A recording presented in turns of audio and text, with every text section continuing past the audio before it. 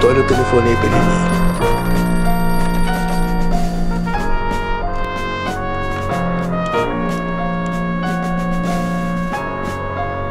Falei, Leni, eu tenho uma informação importante para te dar.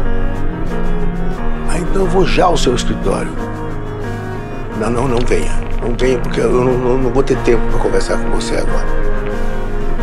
Agora, eu às oito em ponto, oito em ponto, eu vou sair de casa.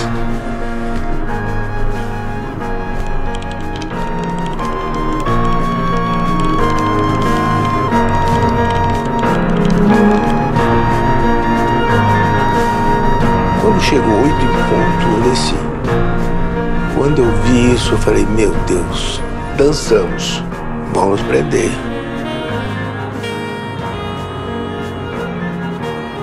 Golpe foi uma coisa horrível, porque o Brasil passava por um momento muito interessante. O Brasil vivia um momento de grande ascensão popular. Então, ela desde 1967, esta pequena mulher, ela meio figura no pensamento de uma boa parte da juventude que se interessava por artes e particularmente por teatro.